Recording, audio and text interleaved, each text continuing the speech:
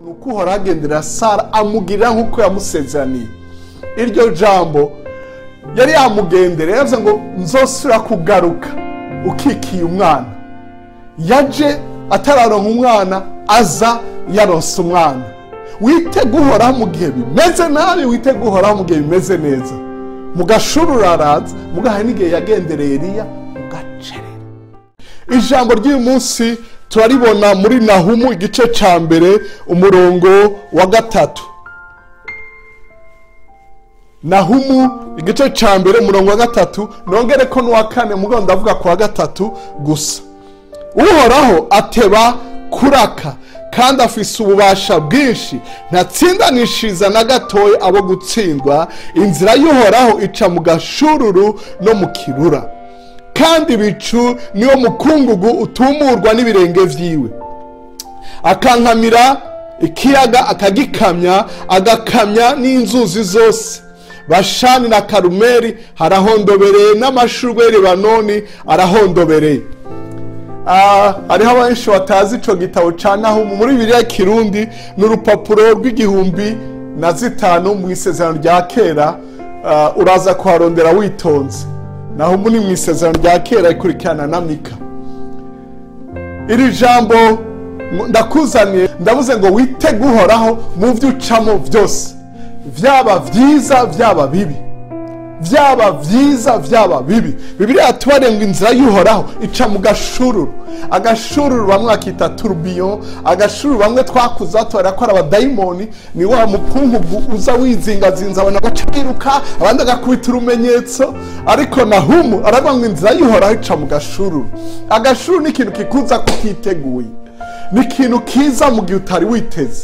Hariho ibintu by'agashuru byaje kuri iyi si. Hari ibiza mu muryango wawe. Hari ibiza mu kazi mu buzima bwawe ku giti cyawe mu buzima bw'abo mukorana mu buzima butandukanye bugize ibyawe n'abawe. Igihugu ishengero intara karitsiye aho ariho hose. Icyo uri kuracamo cyose witege kubona uhoraho. Uhoraho ashobora kuza mu gashururu. Abigishwa bari mu gihuhusi mu ijoro bafise ubwoba umuyaga waturutse imbere banigana no gusoza ngo bagiye kubonabona yesu. Arabagendereye agendera hejuru y'iyo mipfunda arabona ngo ntimutinye ni jewe. Aha ndakubwira ngo ntutinye ni we imana ishimwe cyane imana ishimwe cyane ntutinye arahari. Yagendereye abigishwa be mu ijoro mu kajorojoro ngo biyumvira ko ari igihume ntibari bazi ko ari umutabazi. Biyumvira ko ari umuzimu ntibari bazi ko ari umukiza. Petero amara ngo niba ari wewe mbarira nze.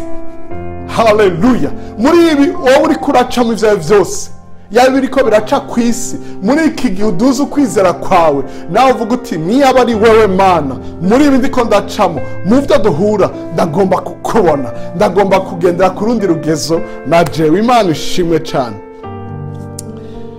ngo mukirura kandi ibicu niwo mukungugu utumurwa n'ibirenge vyiwe. Imana ishimwe cyane akankamira ibiyaga ateba kuraka.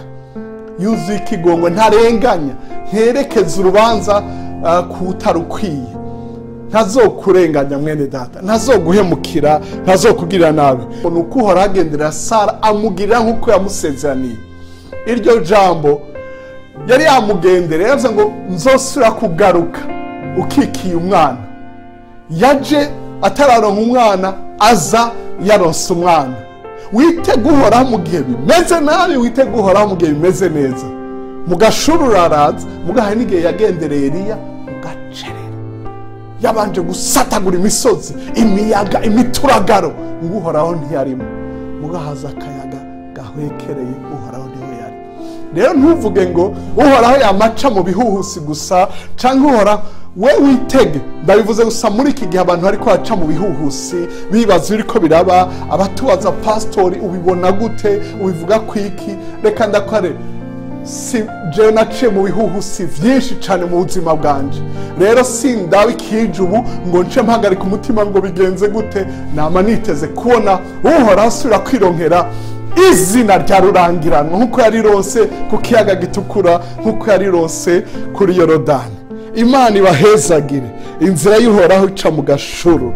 Icyo uri kuracamo uhoraho akugire neza. Ntiwibagire ko ari umwizigirwa mu ijambo ryiwe. Aracahari n'ubu uraza kumubona. Akugenderere mu bukene uri kuracamo. Akugenderere mu bushomeri uri kuracamo. Akugendere mu mugisha waronse w'ibibondo mu mugisha w'akazi waronse mu mugisha w'umwimbo waronse akugendere hose ubone uhoraho.